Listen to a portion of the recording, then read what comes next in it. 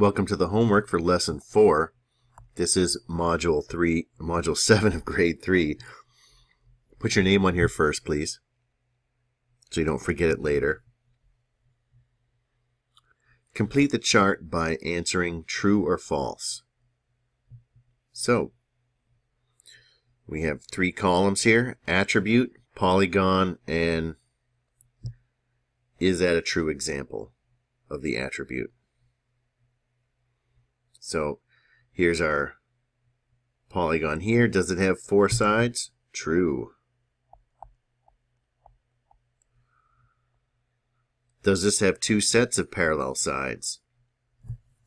Just think of this as saying as being all all parallel sides. Um, sometimes thinking of two sets of parallel sides because a parallel side is also a set of two, so it's two sets of two. It can be really confusing to think of sets of parallel sides. So just think of, are all the sides parallel? This one is parallel to that one, that one is parallel to that one, so it's true. Four right angles. Well, I don't see any right angles there, so that's false. A right angle we think of it as a square. It's sometimes called a square corner. The one that you see in a square. Quadrilateral. Well, quadrilateral has to have four angles or four sides, right? And this has this has that, so it's true.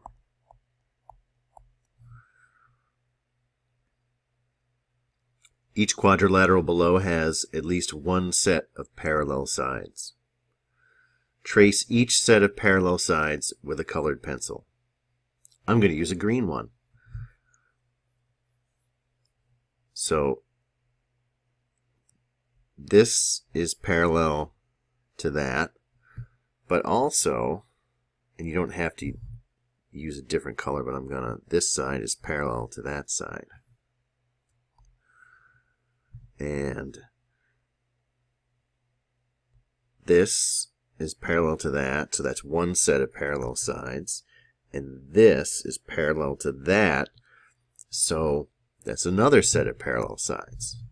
And square, this side's parallel to that side, and this is parallel to that. So they both have two sets of parallel sides.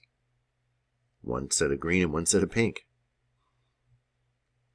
Using a straight edge, sketch a different quadrilateral with at least one set of parallel sides.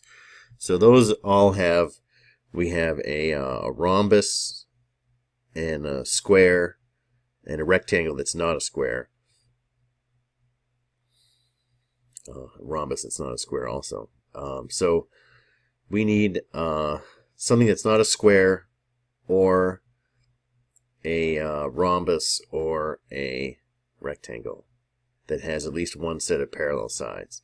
So you could draw a uh, parallelogram, that would work. You could draw a, uh,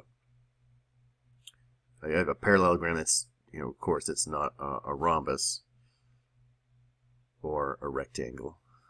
And you could draw, you could also draw a trapezoid. A trapezoid that's not a parallelogram.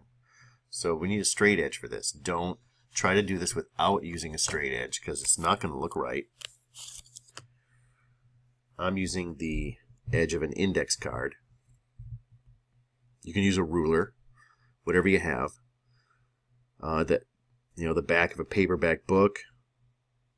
Um, there's all kinds of things you can use for straight edges if you don't have a ruler. So I'm going to draw a am going to draw a trapezoid.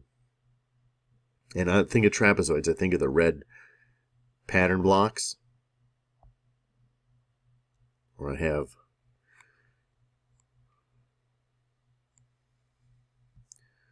side there, and just try to make this parallel. So those are the parallel sides. And now I'm just going to connect the ends.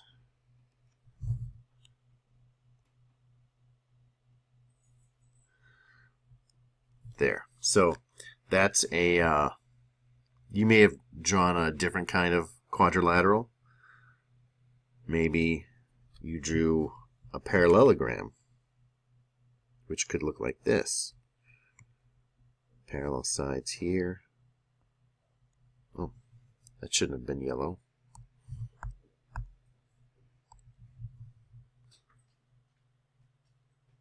And in parallelograms, the uh, opposite sides have to be the same length.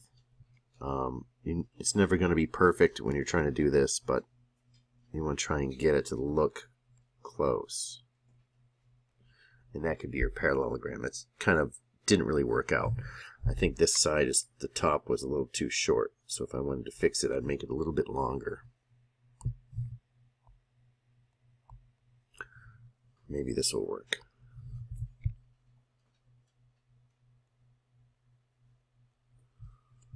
It's better. It could still be a trapezoid, which would still have at least one set of parallel sides. But uh, I think you, I hope you get the the idea. I could try to fix this one more time. This is a pretty short video, so I may as well try it.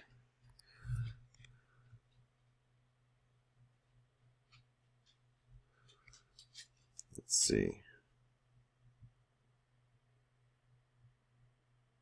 It's going to have to be a little bit longer than that. Okay, so it's going to have to go to about there.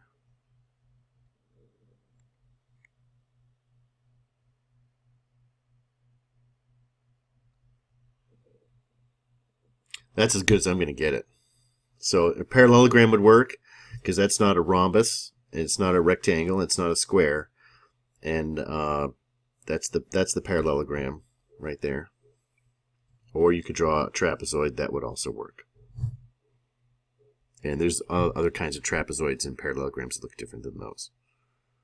What matters is the parallel sides, so you can use your colored pencil to show the parallel sides here for the uh, for the trapezoid. These are parallel, and for the parallelogram, these are parallel. And then I did finally get these parallel to each other.